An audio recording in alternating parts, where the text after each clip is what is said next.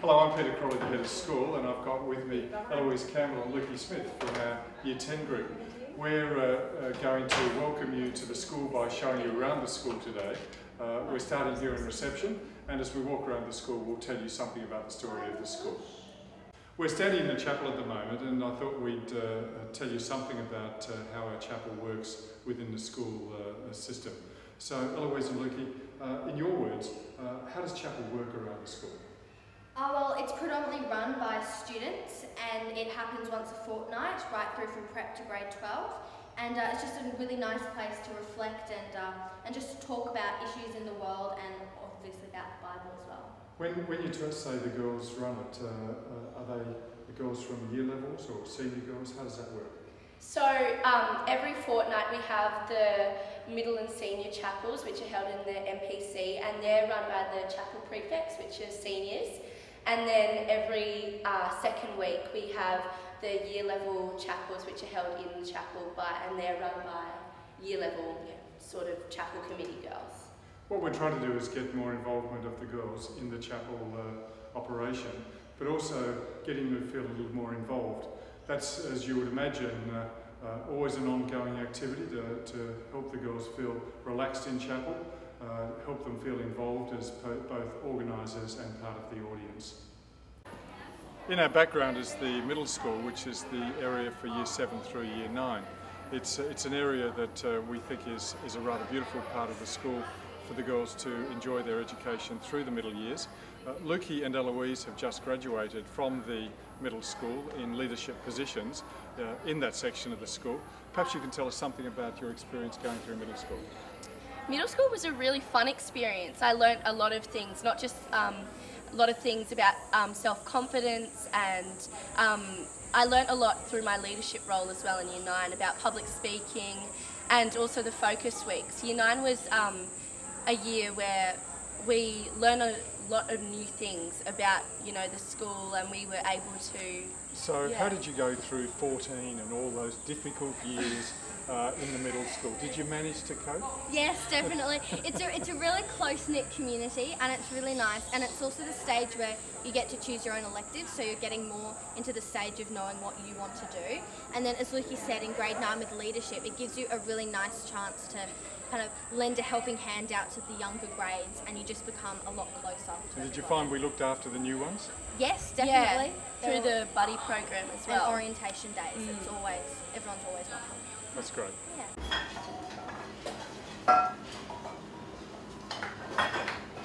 We're standing in the school's new kitchen. We built this a couple of years ago and all of the girls in the school spend some time uh, learning the basics in this uh, area and at, uh, for some of the girls, as they get progress up through the years, they will spend uh, time uh, doing specialist activities up here.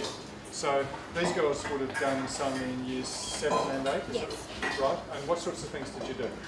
Uh, well, we cooked quite a few pastries and salads, and then we, in the end, when we moved up to like more harder tasks, we cooked actual proper meals, and we took home quite a few recipes, so we actually learned how to cook. So you were actually allowed to cook the salad? no, like noodle salad. Oh, okay, right. Salad okay. more things like that. Yeah. Oh, that's good. Excellent. Well, it's an enjoyable part of the school and the important one for basics. Thank you very much. We're standing on the top floor of the new Jennifer Reeves building in front of a couple of the classrooms. Uh, now, if I could ask the girls to, you've been taught in this area, uh, what, what do you see as the, the features of this part of the, uh, the library? Well, on this top third floor, we've got the library taking up the majority of the space and then classrooms just around the outside. So it's really useful for girls just needing to quickly get out and get their books for assignments. And inside the classrooms, we've got the interactive TVs, which work um, as our like um, for PowerPoints and other shows or documentaries we might watch. And inside the classrooms, there's also some library books which are really convenient as well. I've noticed an awful lot of glass up here. What do you think of being taught in classes with all this glass? Well, the TV, the interactive TVs and then the tables are situated so you don't actually look through to yeah. the other classroom. So it just makes it more open and bright, but you don't get distracted by the other class. Is it a comfortable space to work in? Definitely, with the couches as well in the classrooms and around the building, it's a really great area for students to sit and learn. Like this, there are quite a few small areas where girls can come and work independently. And um, it's a really quirky and comfortable place where girls can come and sit and relax and enjoy themselves. This room here is a small meeting room and a kitchen that girls can use.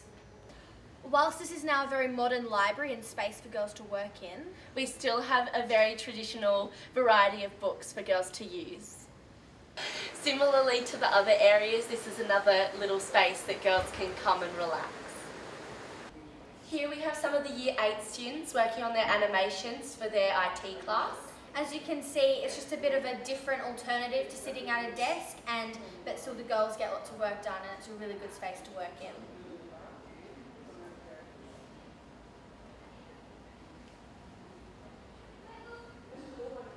Where the girls are looking to fill up their drink bottle. Or to work in a small meeting room, Reese has accommodated for that. Um, at the moment we're sitting at the teardrop tables which are another area where girls can come and relax and sit comfortably to do their homework and other study. Behind us we have the St Hilda's Learning Institute where the school curriculum is formed and uh, girls studying media can create videos and high-end uh, media productions. And also behind us is the media area, an open study space which also acts as a modern and comfortable area for girls to learn. Behind us is a Year 10 maths class which is using the interactive TVs um, which is another comfortable learning environment for the girls to work in.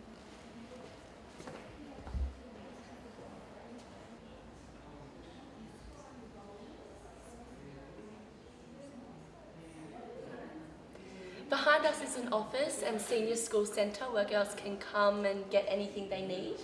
And to my left we have the open learning area once again.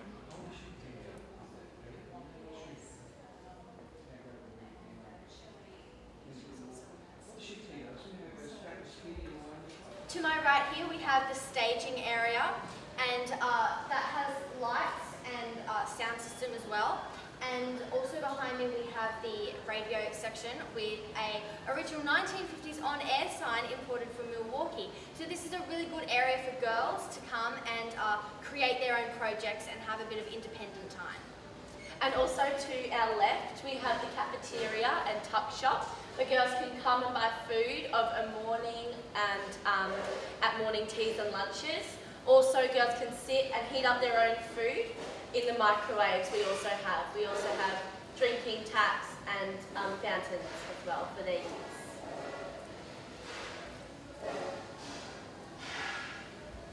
Behind us is the coffee shop which is run by students and girls can come and grab a coffee or hot chocolate of a morning and also in the afternoon can come grab a snack. And in front of us we have the Year 12 common room area. This is a bit more secluded for our senior girls and they also have access to microwaves and taps and a fridge. A really good point about this Reeves building is, it, is that it really integrates well into the oval and the uh, netball and tennis centres that we have around us. It's a very central location as well. And also in front of us we have the ping pong table which is a really fun aspect to the building. Um, a lot of girls can come here over morning tea or lunchtime and play.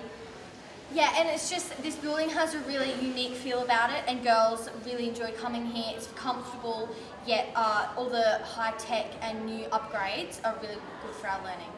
Mm, and overall, I think the building is a really fun and quirky area, which is really modern, but also has its classic touches to it. So it's a great space for girls to come and learn and enjoy themselves. We're standing in the Langford Theatre, which was the original school assembly hall. Uh, we converted this to a teaching theatre a number of years ago and it's been a remarkable success. Behind us is the stage, which uh, at the time of the renovation was doubled in size and also uh, we placed in new curtaining, new lighting and new sound equipment and it works extremely effectively. Girls, you uh, involved in the drama programs in the school, aren't you? Yes. Um, what sorts of things do we do around the school? Uh, well, for assessment pieces, we often hold them within here. Uh, often parents can come in and have a look. Uh, there's also twilight concerts for music and drama students, so it's a nice formal area so parents and students can feel proud of their work. are either of you involved in the drama classes? Yes. Yeah. You, you are. And, and how did those work in here? Without, Um, without desks and chairs, how does that work? Well, we have a lot of floor space, so a lot of the time we do sit on the floor, um, or we'll sit in the uh, bleachers. We'll sit in the bleachers and do our work. Um, but a lot of the time we'll be on the stage performing and doing acting tasks. We're standing in the boarding uh, quadrangle at the moment. This really is the historic heart of the school. Behind me are the stairs leading up to the year 7 through 10 areas of the boarding. Uh, but uh, this area has three boarding houses in it, one for the 7s and 8s, one for the 9 and 10s, and another for the 11s and 12s. Uh, neither of these two girls are boarders, but uh, tell me about the interaction that happens around the school between the day girls and the boarders. How do the two interact? Well, the day girls and the boarders, we're really quite close. There isn't uh, separate social groups. Uh, a lot of the time, day girls and boarders do bond really well, and we do a lot of things together, taking them out on leave or going up to the boarding houses after school. So, yeah. Do you ever pinch their food? They more pinch our food. Usual competition goes on between day, bo- day girls and, and boarders. Okay, understand. Thank you. We're standing in one of the musical uh, teaching rooms at the moment, and I'm standing now with the addition of Jeanette Kelly, who is the head of music in the school. Uh, girls, you, you do music within the school Yes, and yes. What, do you, what involvement do you have? Uh, I'm in many of the choirs and string ensembles and then also woodwind ensembles. Right, how do you get time to learn all those instruments? Um, it's a lot of practice time on weekends and before and after school, but there's always teachers at school that are available to help you as well with your studies. Right. And Lucy, what, what are you involved in? I'm in the middle school concert band, and um, I have previously helped out with junior concert band and done a bit of work with that. So, so what sort of instrument do you play? I play the bass clarinet. Right. Yeah. Why the bass clarinet? Why do you play that? It's groovy. Is It's yeah, I like it. Very nice sound. Does it It's a nice? And very looks really distinctive Does it? sound. yes. Oh, there you It's go. a big asset to any ensemble. Is it? Mm. and what range of ensembles do we have? Well, we've got choirs right from grade from prep right through to grade 12, and we've got string ensembles, junior and senior string ensembles, and chamber ensembles, quartets, etc. And we've got bands, junior concert band, middle school concert band, senior school concert band, and we've also got big band and rhythm and blues band as well. So if the girls want to learn the guitar, can they learn the guitar here at school? They certainly can, but it's also part of our Year 8 program that they learn guitar in Year 8 as well. What about the French horn? The French horn, Yes. yes. Um, in years 5 and 6, they actually can play French horn and they can learn French horn here at school What, individually. what as well. about if a girl wants to be a drummer? a drummer? Well, we, grade 5 and 6 also, they start Yes, drumming as well and they can take that right through to grade 12. So whether it's violin or drums, we can manage it. Definitely. And singing. And singing. And singing. Yes. Excellent. Yes. Wonderful. yes. Thank you. We're standing in our brand new health centre with our nurse behind me, Judy Chorley, who looks after the girls. Uh, this is uh, primarily for the boarders, but day girls do come across here from time to time. Uh, the girls, uh, have you ever been over to the health centre? I have, yes. You have? Yes. And were you looked after? Definitely. Oh. Yes. Very quickly as well. Very quickly. Yes. That's good. That's good. Well, as you pan around, what you'll see is you'll see a relaxing area across there for those that just need a quiet sit and uh, moment to meditate uh, good health. And on our right, we have an area where the, the girls can, uh, uh, in a sense, um, uh, be treated more like you would in a traditional hospital. And in the back areas, we have uh, consultation rooms for doctors and uh, other areas for other degrees of wellness. We're standing in the Arts Centre and uh, around me we have a Year 12 group who are starting their Year 12 studies and they're at the moment operating on artistic silent running. So what we have is creativity in the, in the making. This room of course will be converted into the music school as this part of the school moves up to the, uh, the present school library. But uh, this is a favourite bit of the school as far as I'm concerned because you walk down here and it feels different, it feels artistic, it feels creative. And there was only one moment that I got upset when I walked down here when our head of art here, Alona Hampton, tidied it up. And uh, that was a devastating moment to me, but it's, uh, it's always in beautiful condition with creativity just bursting from its seams. Uh, are you girls art students? I take art. You take art. Why do you take art? because it- it's, it's a, it gives you a whole different range of skills as well. It's not just about sitting and painting, it's a lot of an- analytical skills and you, you build up a whole different array of different kind of... Does, does it worry you that the answer's not in the back of the book? No, not at all, just, just keep going. It's, and it's very personal as well. You learn a lot about yourself and what you can do and yeah, it's, just, it's a relaxing subject as well as very, you need to know what you're doing. Thank you. Here we are in Year 8 uh, ICT with Mr Powell and uh, a few years ago we decided that uh, rather than teach ICT in the way in which many schools do, which is to teach the, the students how to do PowerPoint and a Word document and basics of uh, Microsoft software, we decided to teach uh, the subject through animation and creative filmmaking. So, Mr Powell, what are the girls doing here at the moment? Well, this is our first lesson for the year, and we've learned two very important things. First of all, how to make things wiggle. You cannot have an animation without a wiggle. And the second one was Animation 101, which is the bouncing ball. So the ball has to squash and then release and go back up into the air. So we're working on our wiggling and our bouncing. Right, the class at the moment is running on an extraordinarily silent operation.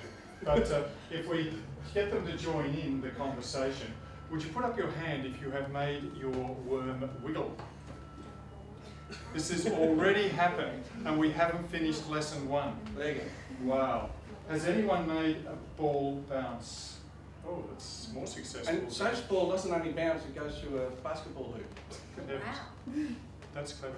Girls, you did this subject when you were younger. What uh, activities did you do?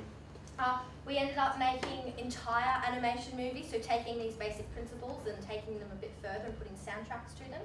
Yeah, and in year seven we did a program called Clay Make. Well, we did Stop motion. stop motion, stop motion. Um, so that was fun as well, where you take little pictures and make it into a, a big movie.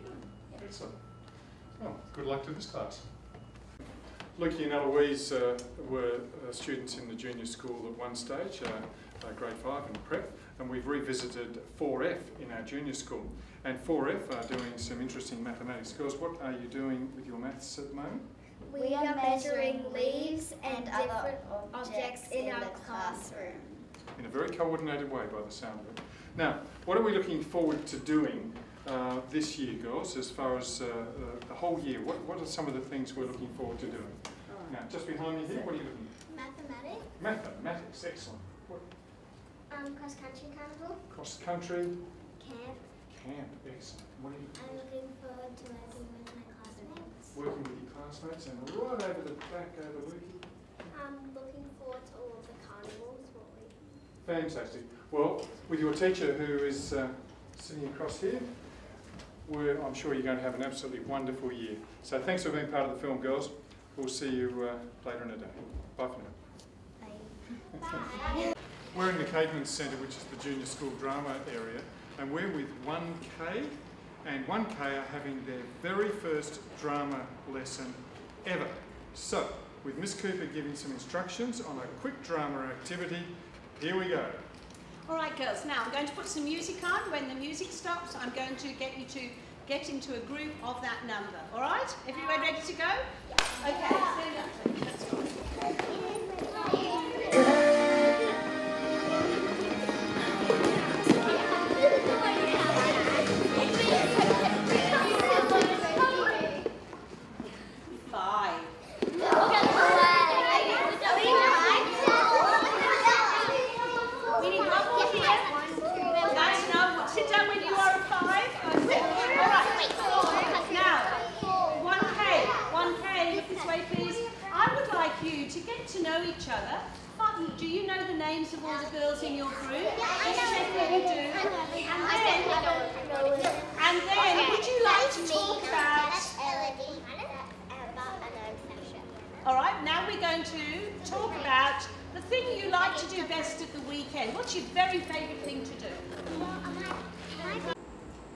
A junior school library at the moment, and unfortunately there isn't a class here. But the two girls with me were girls in the junior school at one stage. Do you remember coming down here, uh, girls? Yes, yes Uh, what uh, sorts of activities did you do when you used to come down here? Um, sometimes when we were younger, a teacher would read to us and we'd all sit on the floor and have a bit of a reading session, or we could work on more substantial projects at computers. So did you come down and borrow the books and Yes, Yes. definitely. take them? Did you have a library bag? We had a book bag. A book bag? You Yeah. could borrow two books for a week. Oh. Yes. Did you get them back on time? Most of the time. We're down in the school's gymnasium at the moment and behind us is one of the junior classes who are learning some basic gymnastics. In the next few minutes the camera is going to pan around some of the school's wonderful sporting facilities just to give you that sense of the variety of activities and the variety of ways in which we can enjoy sport uh, in our school day.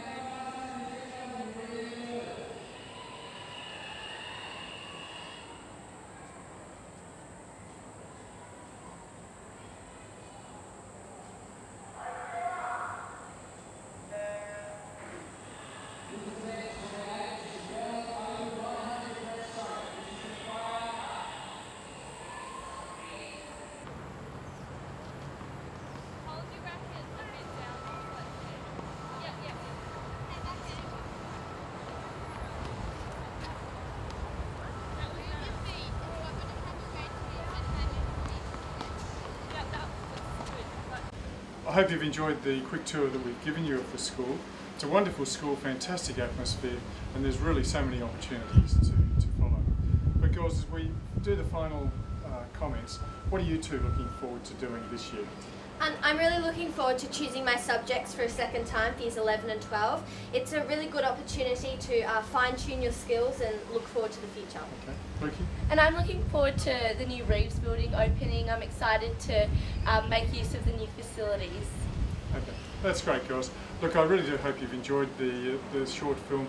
If you're interested in the school, please make contact. Let us uh, show you around personally and come and meet people and see the girls at work in the classroom. Thank you.